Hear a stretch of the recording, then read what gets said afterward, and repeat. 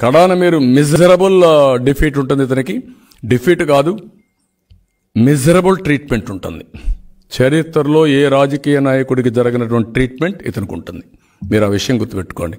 ఎవరైనా సరే ప్రపంచంలో అతిగా ప్రవర్తించిన ఏ వ్యక్తి అయినా సరే కడాన తిరిగేది జరుగుతుంది.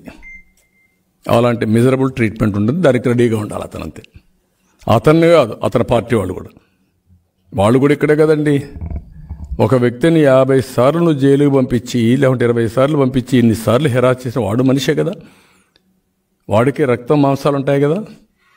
వాడు సఫర్ అయ్యాడు కదా? వాడికి ఒక మైండ్ ఉంది కదా? ఎంత హ్యూమిలియేట్ చేశావు? ఇప్పటికైనా తగ్గించండి ఇవన్నీ. థ్యాంక్ యూ కడాన మీరు మిజరబుల్ డిఫీట్ uh, ఉంటుంది ఇతనికి. డిఫీట్ కాదు మిజరబుల్ ట్రీట్మెంట్ ఉంటుంది. చరిత్రలో ఏ రాజకీయ నాయకుడికి జరగనటువంటి ట్రీట్మెంట్ ఇతనికి ఉంటుంది. మీరు ఆ విషయం గుర్తుపెట్టుకోండి. ఎవరైనా సరే ప్రపంచంలో అతిగా ప్రవర్తించిన ఏ వ్యక్తి అయినా సరే కడాన తిరిగేది జరుగుతుంది.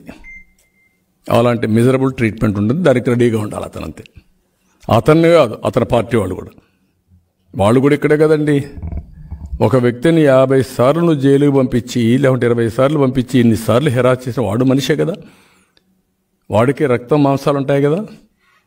వాడు సఫర్ అయ్యాడు కదా వాడికి ఒక మైండ్ ఉంది కదా. ఎంత హ్యూమిలియేట్ చేశావు? ఇప్పటికైనా తగ్గించండి ఇవన్నీ. కడాన మీరు మిజరబుల్ డిఫీట్ ఉంటుంది ఇతనికి. డిఫీట్ కాదు మిజరబుల్ ట్రీట్మెంట్ ఉంటుంది. చరిత్రలో ఏ రాజకీయ నాయకుడికి జరిగినటువంటి ట్రీట్మెంట్ ఇతనికి ఉంటుంది. మీరు ఆ విషయం గుర్తుపెట్టుకోండి. ఎవరైనా సరే ప్రపంచంలో అతిగా ప్రవర్తించిన ఏ వ్యక్తి అయినా సరే కడాన తిరిగేది జరుగుతుంది. అలాంటి మిజరబుల్ ట్రీట్మెంట్ ఉంటుంది దానికి రెడీగా ఉండాలి అతను అంతే అతన్ని కాదు అతని పార్టీ వాళ్ళు కూడా. వాళ్ళు కూడా ఇక్కడే కదండి. ఒక వ్యక్తిని యాభై సార్లు నువ్వు జైలుకి పంపించి లేకుంటే ఇరవై సార్లు పంపించి ఇన్నిసార్లు హెరాస్ చేసిన వాడు మనిషే కదా. వాడికి రక్తం మాంసాలు ఉంటాయి కదా. వాడు సఫర్ అయ్యాడు కదా వాడికి ఒక మైండ్ ఉంది కదా. ఎంత హ్యూమిలియేట్ చేశావు? ఇప్పటికైనా తగ్గించండి ఇవన్నీ. థ్యాంక్ యూ కడాన మీరు మిజరబుల్ డిఫీట్ uh, ఉంటుంది ఇతనికి. డిఫీట్ కాదు మిజరబుల్ ట్రీట్మెంట్ ఉంటుంది.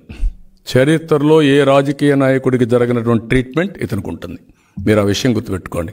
ఎవరైనా సరే ప్రపంచంలో అతిగా ప్రవర్తించిన ఏ వ్యక్తి అయినా సరే కడాన తిరిగేది జరుగుతుంది. అలాంటి మిజరబుల్ ట్రీట్మెంట్ ఉంటుంది. దానికి రెడీగా ఉండాలి అతను అంతే. అతన్ని కాదు అతని పార్టీ వాళ్ళు కూడా. వాళ్ళు కూడా ఇక్కడే కదండి. ఒక వ్యక్తిని యాభై సార్లు జైలుకి పంపించి లేకుంటే ఇరవై సార్లు పంపించి ఇన్నిసార్లు హెరాస్ చేసిన వాడు మనిషే కదా? వాడికి రక్తం మాంసాలు ఉంటాయి కదా? వాడు సఫర్ అయ్యాడు కదా? వాడికి ఒక మైండ్ ఉంది కదా? ఎంత హ్యూమిలియేట్ చేశావు? ఇప్పటికైనా తగ్గించండి ఇవన్నీ. Thank you. బాబును సమర్థించడము అని అంటే పేద వర్గాల పిల్లలకు ఇంగ్లీష్ మీడియం అందకుండా చేయటమే. బాబును సమర్థించడము అని అంటే పేదలకు ఇళ్ళ స్థలాలు ఇవ్వటాన్ని వ్యతిరేకించడమే. డెమోగ్రాఫిక్ ఇంబాలెన్స్ అంటూ వారు ఏకంగా కోర్టుల్లో వేసిన దావాలని సమర్థించినట్టే అవుతుంది అనేది కూడా ప్రజల్లోకి తీసుకొని పోవాల్సిన అవసరం ఉంది. బాబును సమర్థించడం అంటే కొన్ని వర్గాలు ఎప్పుడూ కూడా పేదలుగానే మిగిలిపోవాలని ఎప్పటికీ కూడా కూలీలుగానే మిగిలిపోవాలని పెత్తందారి భావజాలాన్ని సమర్థించినట్టే. బాబును సమర్థించడము అని అంటే బాబు మనస్తత్వం ఎస్సీలలో పుట్టాలని ఎవరైనా అనుకుంటారా? బీసీల తోకను కత్తిరిస్తాను అని అనే ఆ పెత్తందారి భావజాలాన్ని సమర్థించడమే. ఈ విషయాలన్నీ కూడా ప్రజల్లోకి తీసుకొని పోవాలి. అర్థమయ్యేట్టుగా చెప్పగలగాలి ప్రజలందరికీ కూడా. ఇక పొత్తుల విషయం చూద్దాం. ఇక పొత్తుల విషయానికి వస్తే మన ప్రతిపక్షాలన్నీ కూడా పొత్తుల కోసం వెంపర్లాడుతా ఉన్నాయి. ఆశ్చర్యం అనిపిస్తుంది ఒక్కొక్కసారి నాకైతే. వారు ఎంతమంది వచ్చినా కూడా ఎంతమంది కలిసినా కూడా రెండు సున్నాలు కలిస్తే రెండు సున్నాలు కలిస్తే లేదా నాలుగు సున్నాలు కలిస్తే రెండు సున్నాలు కలిసినా నాలుగు సున్నాలు కలిసినా వచ్చే రిజల్ట్ సున్నాయే. ప్రజలకు వాళ్ళు చేసిన మంచి ఒక పెద్ద సున్నా కాబట్టి ఎన్ని సున్నాలు కలిసినా కూడా వచ్చేది ఒక పెద్ద సున్నా మాత్రమే. వారు మంచి చేసే ఉంటే వారి మీద వారికే నమ్మకం ఉంటే ఆశ్చర్యం అనిపిస్తుంది నాకైతే. ఒకరైతే పదహైదు సంవత్సరాలైంది పార్టీ పెట్టి పదహైదు సంవత్సరాలైంది పార్టీ పెట్టి ఇవాళకి కూడా ప్రతి నియోజకవర్గంలో క్యాండిడేట్ లేడు. ప్రతి గ్రామంలోనూ జెండా మోసేదానికి మనిషి లేడు. ఆయన జీవితం అంతా కూడా చంద్రబాబు నాయుడు గారిని భుజానెత్తుకొని మోయడానికే పదహైదు సంవత్సరాలు పట్టింది ఆ పెద్ద మనిషికి. ఆశ్చర్యం అనిపిస్తుంది. ఆయన చంద్రబాబు నాయుడు చేసిన మోసాలలో పార్ట్నర్. చంద్రబాబు నాయుడు గారు దోచుకున్న దాంట్లో కూడా పార్ట్నర్. కాబట్టి ఇద్దరు కలిసి ప్రజలను ఎలా మోసం చేయాలి అన్నది మాత్రమే ఆలోచిస్తారు కానీ నిజంగా ప్రజలకు మంచి చేయాలి. నిజంగా ప్రతి గ్రామంలో మన జెండా ఎగరాలి. నిజంగా ప్రతి నియోజకవర్గంలో మన జెండా ఎగరాలి అనే ఆలోచన చేసే మనస్తత్వం వీళ్ళకి ఎవ్వరికీ కాదు ఎవ్వరికీ లేదు. కావాల్సిందంతా బిస్కెట్లు వేసినట్టు చాక్లెట్లు వేసినట్టు సంపాదించే గజ దొంగల ముఠాలో భాగం పంచడం ఇంత ఈనాడుకు ఇంత ఆంధ్రజ్యోతికి ఇంత టీవీ ఫైవ్కి ఇంత దత్తపుత్రుడికి. అందరూ దోచుకోవడం దోచుకున్నది పంచుకోవడం పంచుకొని తినుకోవడం. ఇది తప్ప రాజకీయం అంటే విశ్వసనీయత అని రాజకీయం అంటే విలువలని రాజకీయం అంటే చనిపోయిన తర్వాత కూడా ప్రతి ఇంట్లో ఫోటో ఉండాలని ఆరాట పడడం అని రాజకీయం అంటే రాజకీయం అనంటే ప్రతి పేదవాడు చిరునవ్వు నవ్వినప్పుడు ఆ చిరునవ్వుల్లో మనం గుర్తుకు రావాలి అని ఆరాట పడడం అని వీళ్ళెవ్వరికీ లేదు. వీళ్ళకి తెలిసిన రాజకీయం వల్ల సీట్లేకి రావడం అంటే దాని అర్థం దోచుకోవడం దోచుకునింది పంచుకోవడం పంచుకునింది తినుకోవడం. ఇవి కాదు రాజకీయాలు. రాజకీయాలంటే మనిషి చనిపోయిన తర్వాత కూడా ప్రతి మనిషి గుండెల్లో బ్రతికి ఉండడం. రాజకీయం అంటే ప్రతి ఇంట్లో కూడా ప్రతి ఇంట్లో కూడా ఫోటో ఉండడం. రాజకీయం అన్నది మనకు తెలిసిన రాజకీయం. ఈరోజు అందుకే మీ బిడ్డ ఎవరితోనూ పొత్తు పెట్టుకోడు. అందుకే మీ బిడ్డ నమ్ముకున్నది దేవుడిని మంచి చేసిన ప్రజల్ని.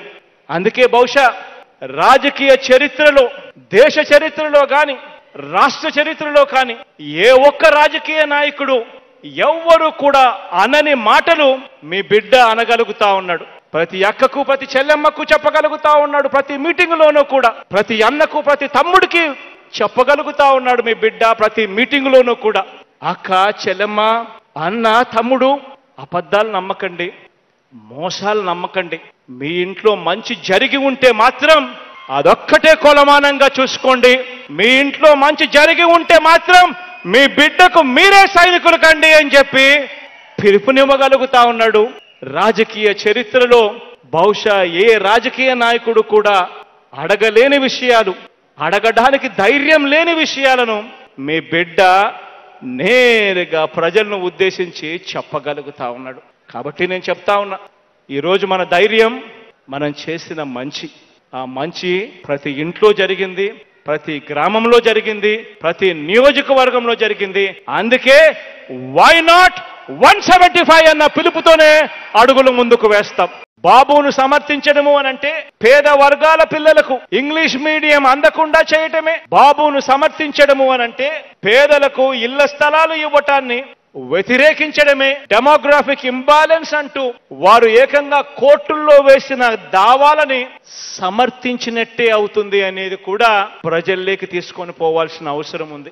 బాబును సమర్థించడం అంటే కొన్ని వర్గాలు ఎప్పుడూ కూడా పేదలుగానే మిగిలిపోవాలని ఎప్పటికీ కూడా కూలీలుగానే మిగిలిపోవాలని పెత్తందారి భావజాలాన్ని సమర్థించినట్టే. బాబును సమర్థించడము అని అంటే బాబు మనస్తత్వం. ఎస్సీలలో పుట్టాలని ఎవరైనా అనుకుంటారా? బీసీల తోకను కత్తిరిస్తాను. అని అనే ఆ పెత్తందారి భావజాలాన్ని సమర్థించడమే. ఈ విషయాలన్నీ కూడా ప్రజల్లోకి తీసుకొని పోవాలి. అర్థమయ్యేట్టుగా చెప్పగలగాలి ప్రజలందరికీ కూడా. ఇక పొత్తుల విషయం చూద్దాం. ఇక పొత్తుల విషయానికి వస్తే మన ప్రతిపక్షాలన్నీ కూడా పొత్తుల కోసం వెంపర్లాడుతా ఉన్నాయి. ఆశ్చర్యం అనిపిస్తుంది ఒక్కొక్కసారి నాకైతే. వారు ఎంతమంది వచ్చినా కూడా ఎంతమంది కలిసినా కూడా రెండు సున్నాలు కలిస్తే రెండు సున్నాలు కలిస్తే లేదా నాలుగు సున్నాలు కలిస్తే రెండు సున్నాలు కలిసినా నాలుగు సున్నాలు కలిసినా వచ్చే రిజల్ట్ సున్నాయే. ప్రజలకు వాళ్ళు చేసిన మంచి ఒక పెద్ద సున్నా కాబట్టి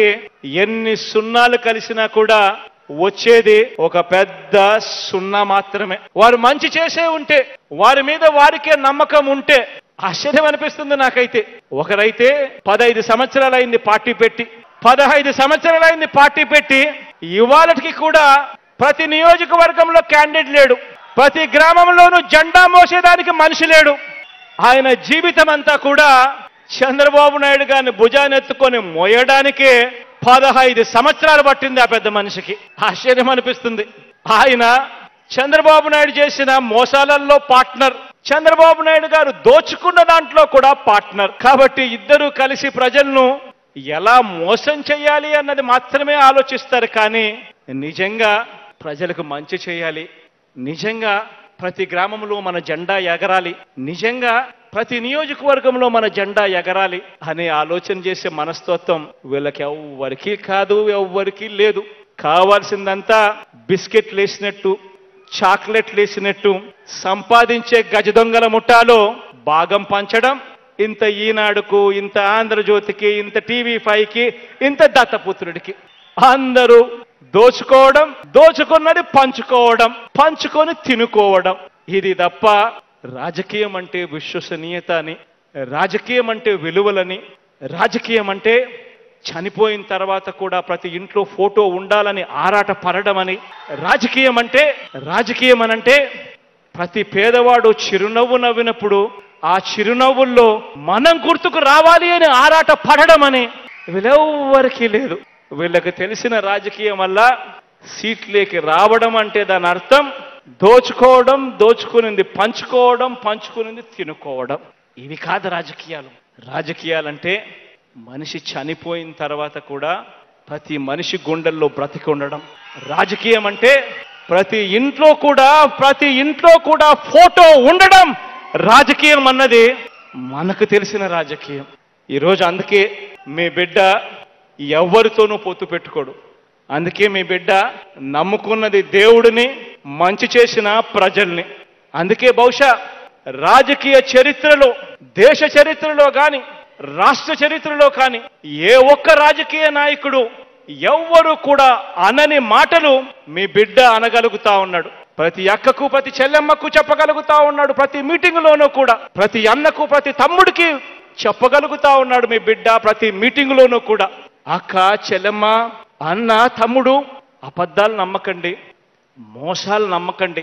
మీ ఇంట్లో మంచి జరిగి ఉంటే మాత్రం అదొక్కటే కొలమానంగా చూసుకోండి. మీ ఇంట్లో మంచి జరిగి ఉంటే మాత్రం మీ బిడ్డకు మీరే సైనికులు కండి అని చెప్పి పిలుపునివ్వగలుగుతా ఉన్నాడు. రాజకీయ చరిత్రలో బహుశా ఏ రాజకీయ నాయకుడు కూడా అడగలేని విషయాలు అడగడానికి ధైర్యం లేని విషయాలను మీ బిడ్డ నేరుగా ప్రజలను ఉద్దేశించి చెప్పగలుగుతా ఉన్నాడు. కాబట్టి నేను చెప్తా ఉన్నా ఈరోజు మన ధైర్యం మనం చేసిన మంచి. ఆ మంచి ప్రతి ఇంట్లో జరిగింది ప్రతి గ్రామంలో జరిగింది ప్రతి నియోజకవర్గంలో జరిగింది. అందుకే why not one seventy five అన్న పిలుపుతోనే అడుగులు ముందుకు వేస్తాం.